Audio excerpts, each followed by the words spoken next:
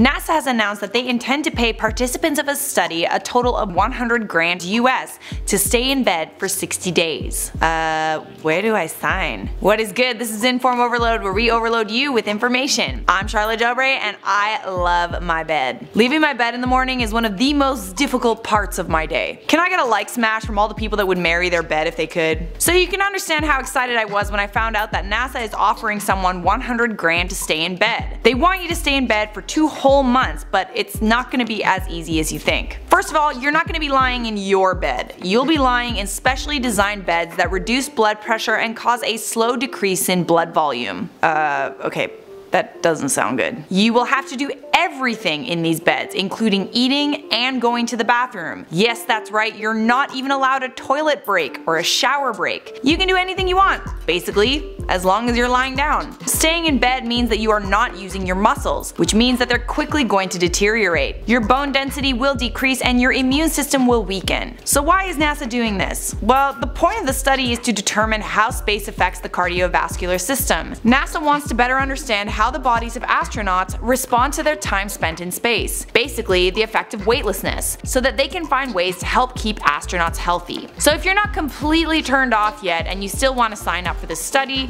here's what you need to know. There's only one position available and they want this person to quote, fit in with the NASA astronaut population. I'm not sure what that means, but as part of the application process, you will have to go through a series of tests. Vice actually interviewed someone who had gone through one of these bed rest tests before, and when it came time to walk again, he found it very difficult. And mostly the study was, well, boring isolating, and mentally strenuous. Not to mention, apparently the food NASA feeds you is not the best. You're on a strict diet plan that apparently includes soggy microwave fillet of fish that you will get sick of.